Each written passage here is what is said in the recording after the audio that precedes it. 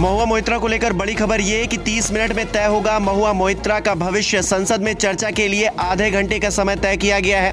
TMC की तरफ़ से सौगत रॉय अपना पक्ष रखेंगे, जबकि भारतीय जनता पार्टी की तरफ़ से हिना गावित और संजय जायसवाल बोलेंगे। महुआ और निशिकांत दुबे को बोलने की इजाज़त नहीं दी जाएगी।